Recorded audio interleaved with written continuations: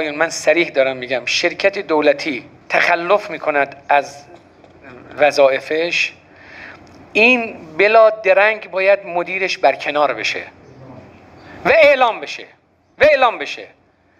این اصلا درنگ نکنید. اصلا این مسئله قابل بخشش نیست. من به نظرم اونایی که دست دولته یا دست نهادهاست حالا دولت به معنی عامه یعنی حکومته.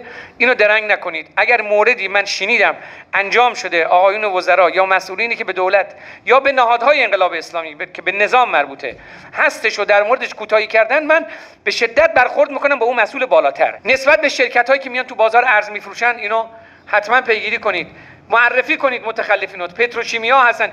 دولتیه که عرض کردم مجال ندید در برکناریش. من الان دارم به شما سفید امضا میدم. اگر دولتی آمد تو بازار بازار ارز و هم بزنه مدیرشو یا هر کی دستن در کاره باید برکنار بشه.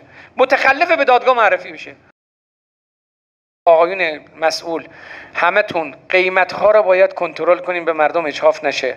آقایون وزرا مسئولن. اون ما که با کسی پسرمون نیستیم پسر خاله هم نیستیم باشیم هم تاثیر نداره برادرم باشیم تاثیر نداره. مهم اون که مردم در قضیه آسیب نبینن.